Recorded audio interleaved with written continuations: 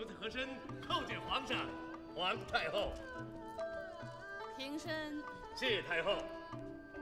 太后请看，此乃是用一百零八颗合浦珍珠相串而成。奴才和珅祝太后老佛爷万寿无疆。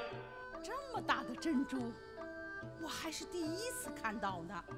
皇娘，这样的珍珠，普通的大户能有几颗已经不易啊。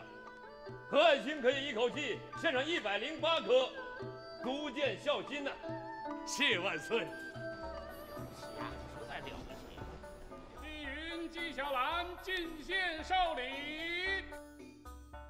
纪大人啊，您的献礼。哦，纪大人，请多谢。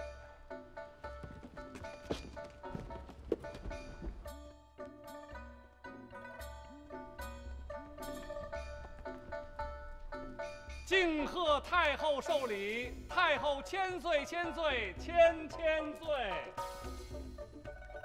平身。谢太后。纪晓岚，你的贺礼一定是别出心裁吧？启禀皇上太后，纪晓岚不能像何大人一样这么大手笔，只好亲笔写了一篇祝寿赋，请太后笑纳。纪晓岚书法闻名天下呀，好，看看吧。遵遗旨。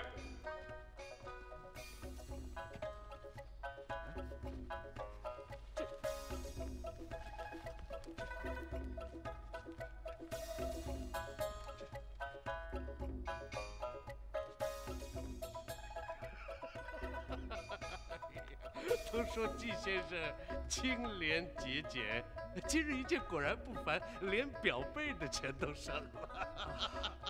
我打开瞧瞧吧。皇上让你打开。啊，遵旨。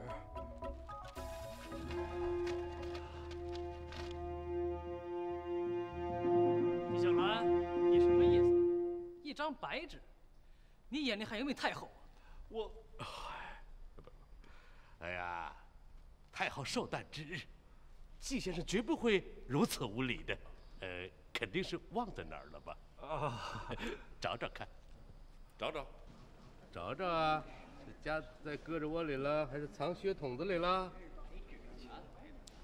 纪晓岚，太后华诞，你就献白纸啊？哦。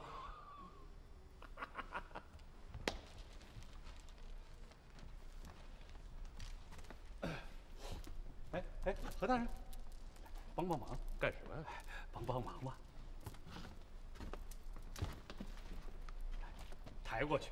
哎，这是我献给太后的，凭什么你要抬过去啊？我知道是何大人献的，借用一下。走，小心点啊！多谢。我这颗颗可都价值千金呢。知道。你干嘛呀？你这是？来来来，何大人，多谢何大人。来，慢慢放下，慢慢的。来，何大人，来，往后退，再往后退。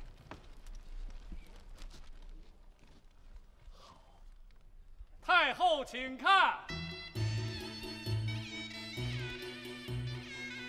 我看到了，看到了一个“